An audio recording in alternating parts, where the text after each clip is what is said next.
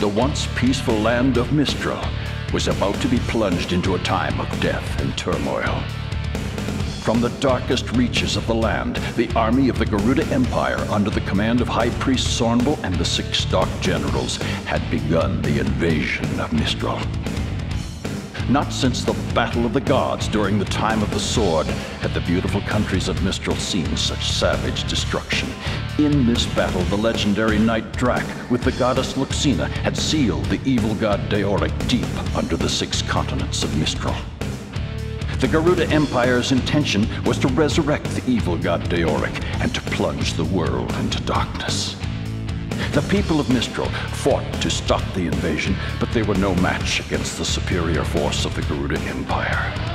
As the last hope of the people of Mistral, one knight alone stands to save this land. His name was Duran, the last in the bloodline of the legendary knight Drac. Protected by the mystical armor of Drac, Duran alone confronts Zornbel and the Garuda Empire. Will Duran be able to stop the Garuda Empire, the resurrection of Deoric?